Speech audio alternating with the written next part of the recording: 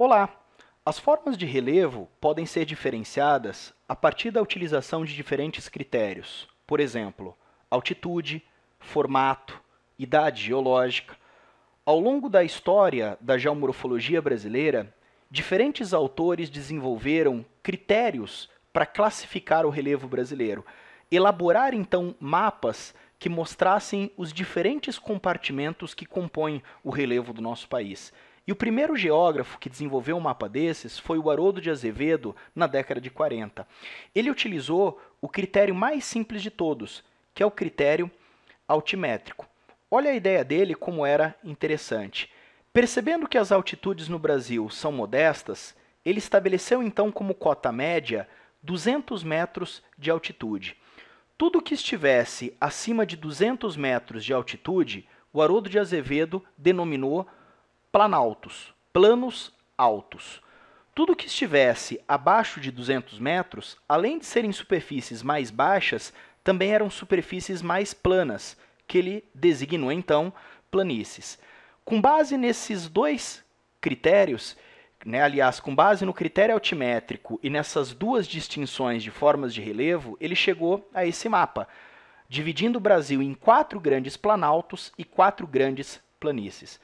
Pode parecer, numa primeira impressão, que a classificação do Haroldo de Azevedo é muito simplista, mas você precisa lembrar que esse mapa ele foi elaborado na década de 40, numa época em que ainda não haviam tecnologias como imagens aéreas, imagens de satélite. Mesmo sendo um mapa básico, ele é muito interessante para você ter grandes noções sobre o relevo do Brasil de que existe um grande planalto nessa área central, um grande planalto nessa área mais ao sul, um grande planalto ao norte e um planalto mais ao litoral. E essas planícies, né? A planície amazônica, a planície costeira. Então, mesmo sendo um mapa simples, é um mapa que passa noções gerais do relevo brasileiro. Alguns anos mais tarde, o Aziz Absaber ele deu continuidade então a esse trabalho e também desenvolveu o seu mapa a partir da utilização de outros critérios. Mantendo o critério altimétrico, a diferença para a classificação do Aziz Absaber é que ele passou a considerar também os processos geológicos, então, de formação. Como que ocorre a formação de um planalto? Como que ocorre a formação de uma planície? Olha como também é interessante a ideia dele. Os planaltos são superfícies mais elevadas. Tudo bem. Por serem superfícies mais elevadas, estão sujeitas ao constante intemperismo e processos erosivos. Por isso que são superfícies muito desgastadas. O desgaste dessas áreas mais elevadas libera sedimentos que se depositam nas áreas mais baixas. Portanto, planícies que são áreas mais baixas são áreas que sofrem constante processo de sedimentação. Segundo Aziz Absaber, então, planaltos são superfícies mais elevadas, onde os processos erosivos prevalecem sobre a sedimentação. Ao contrário, as planícies representam superfícies mais baixas, onde a sedimentação prevalece sobre a erosão. Fazendo então a comparação entre os trabalhos dos dois autores, repara que não são tão grandes assim as diferenças. Aqui está o trabalho, então, do Haroldo de Azevedo, com quatro planaltos e quatro planícies, seguindo agora um critério, além da altimetria, o processo de formação, o Aziz Absaber chegou a sete planaltos e três planícies. Olha só, permanece ainda o planalto central, o planalto das Guianas e o planalto meridional, só que agora ele acrescentou o Planalto do Maranhão-Piauí, o Planalto do Nordeste, serras e planaltos do leste sudeste e o Planalto sul-rio-grandense. Esse muito interessante que, como você pode perceber, anteriormente era considerado uma planície. Segundo então Aziz Absaber, essa é uma superfície onde a erosão ainda está atuando sobre a sedimentação. Por isso a diferença né, para o mapa do Haroldo de Azevedo. Bom, algumas décadas mais tarde, o geógrafo Jurandir Ross desenvolveu a atual classificação do relevo brasileiro.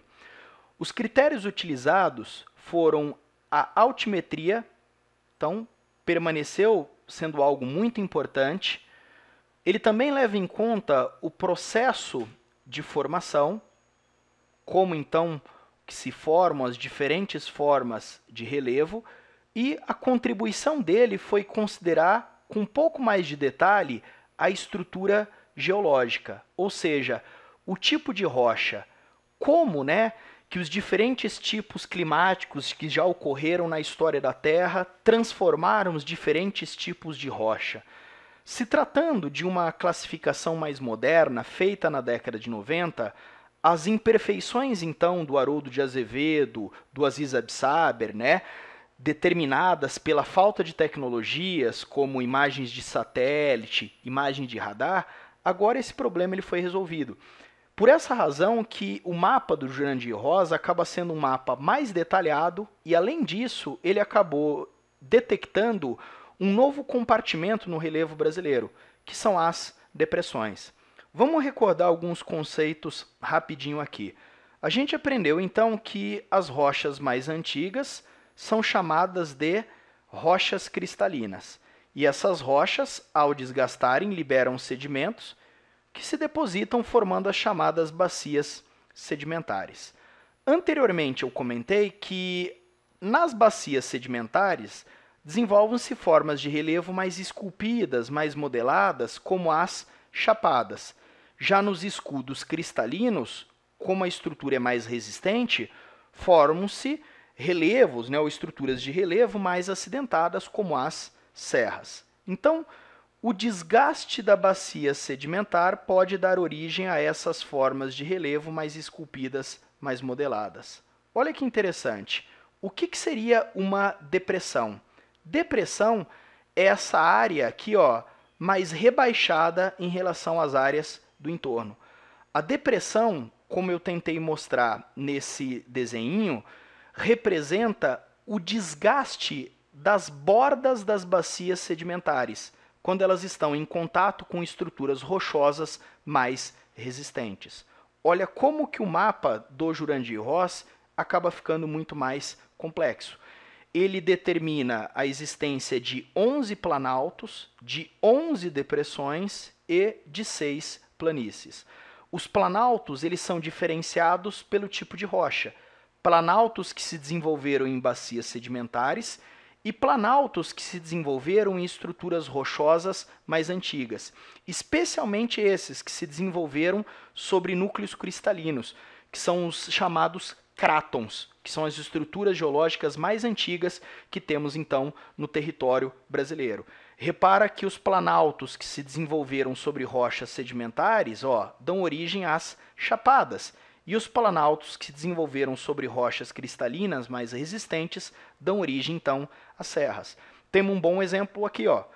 Todo esse planalto, o número 8, é um planalto desenvolvido sobre rochas resistentes. Aqui nós temos um planalto desenvolvido sobre rochas sedimentares. Então, sedimentar, cristalino a borda da bacia sedimentar em contato com uma estrutura mais resistente pode dar origem então a uma depressão.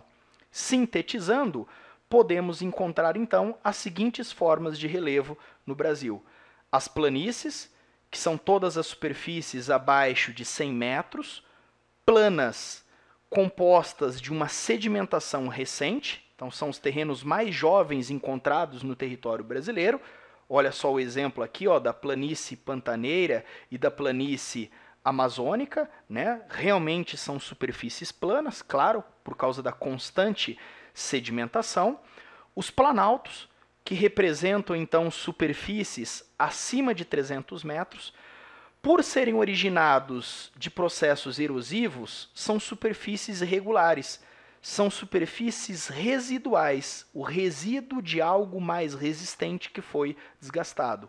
O desgaste sobre estruturas cristalinas dá origem a serras, olha só, mais irregulares. O desgaste sobre estruturas sedimentares dá origem a chapadas, mais regulares. E, por fim, encontramos então as depressões. As depressões que no Brasil são encontradas entre 100 e 500 metros e que representam superfícies mais aplanadas. Olha o detalhe: aplanadas e não planas, como você pode observar na paisagem. Por que são aplainadas?